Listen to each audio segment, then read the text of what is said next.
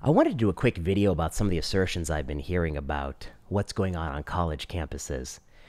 Many people claim that the draconian policies of college campuses have got to be benefiting these kids and have got to be slowing the spread of SARS CoV 2. And what I want to say is, you have no credible evidence that that's the case. Now, let's talk about the most draconian policy. In my opinion, the most draconian policy is Duke University. They are gone so far as to mandate outdoor masking of college kids. Now, we know at this point in the pandemic that even in an unvaccinated population, outdoor masking is probably not going to do a whole lot because outdoor spread is the lowest instance of spread for this virus. But if you take a vaccinated young population and you do outdoor masking, you really are irrational. You're really running counter to any credible science. Your policy is draconian for the sake of being draconian. If anything, that policy might cut the other way. It might actually have negative implications because kids will burn out and they'll be unwilling to do other things, and they'll view all of this as a pointless theater. But one of the claims that I have made uh, that I think is factually the case is that we just don't have credible evidence that the policies of many of these universities, like Stanford, Brown, and Duke, where asymptomatic young adults who have been vaccinated are screened for SARS CoV 2 with weekly or biweekly spit or nasopharyngeal testing, that that slows the spread of SARS CoV 2. Now, put aside the goal of the policy. I think, and I have a piece out now, an op ed in MedPage today, that we might be mistaken into thinking that right goal of the policy is to slow the spread of SARS CoV 2. It's an endemic virus. It's inevitable. We're all going to come into contact with it. The best we can do is to harm reduce, is to lower the chances of bad outcomes when you come into contact with it. But put that aside. Let's say the goal is just to slow the spread of the virus. There is really no credible evidence that these policies, this asymptomatic screening, does slow the spread of the virus.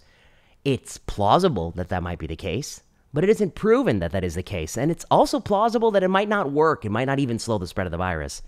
The history of medicine is riddled with practices that someone thought was plausible that turned out not to work.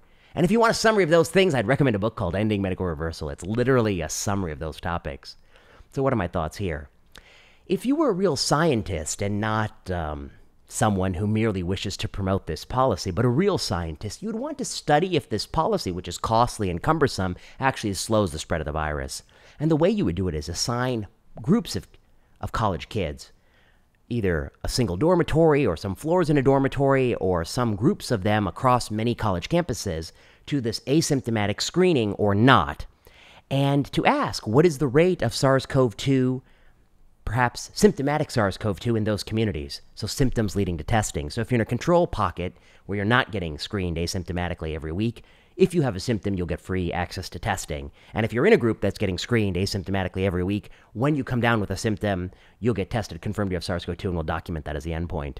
And I think it's plausible that this asymptomatic screening doesn't even improve that endpoint of symptomatic SARS CoV 2. That might not even be what we want. We wish we had more power and we could power it for hospitalizations from SARS CoV 2 or some severe outcomes or hospitalizations in the broader community. But this would be a start. And I think there's a huge pushback against doing this. That's what I find so fascinating.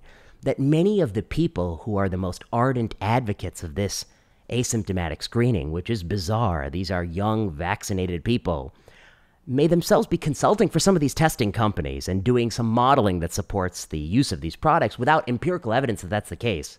That, in my mind, would be problematic.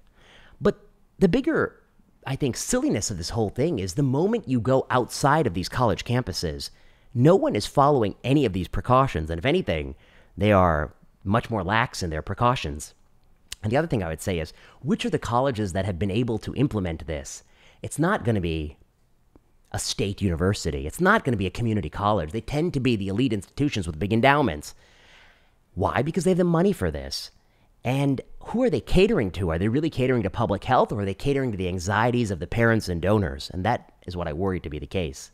So I guess I'm struggle with this whole issue of all the things we ought to be doing about SARS-CoV-2 in this moment, and there are many things we could do taking a highly vaccinated cohort of young adults who are destined to come in contact with this virus over the course of the next decade and policing their behavior to such great lengths as to ban parties, to ban indoor dining, to prevent them from spending time with more than two or three of their friends, to make them wear masks outside, to prevent them from taking a sip of a coffee in a lecture hall.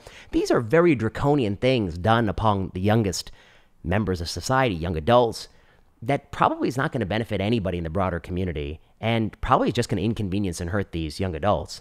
And if you believe that it does slow the spread of SARS CoV 2 at the college campus, you could conduct a cluster randomized controlled trial to try to support that claim. Although I think the appetite for that is very low, because why would a company seek to test their product in a randomized study when they can already get the market share by getting the universities to pay for it now? And that's the situation we're in. So when I see claims like we know screening asymptomatic people is of benefit, I, I puzzle with that claim because we don't know any such thing. We just don't know that to be true. And real scientists would admit that we don't know that to be true and that there are methods we could get closer to the truth and not to simply debut a costly, expensive, cumbersome test. I think I'm not the only one frustrated by this. My inbox is filling, filling with college students, graduate students, people who are clever, who realize that this seems quite absurd, and they point out to other absurdities in their lives. And uh, we we hope to take a deeper, deeper look into these issues. So, you know what to do if you like this video. Like, subscribe, comment below, leave a message. I'm critical of this policy. I am skeptical of it. I want to see some evidence that it actually does something, and I don't want to hear any more people assert blindly and without data that it's guaranteed to slow the spread of the virus. I don't think that's true. I can debate even if that's the goal in and of itself, but accepting that that's the goal, I wonder if this actually accomplishes that goal or if it's merely theater, like outdoor masking is theater. And I think, um, you know, I'd be embarrassed to be recommending a policy of outdoor cloth masking with what we know today in 2021. I mean, that's just simply bad policy. It makes people feel frustrated and it doesn't actually solve any problems. So, on that positive note, until next time.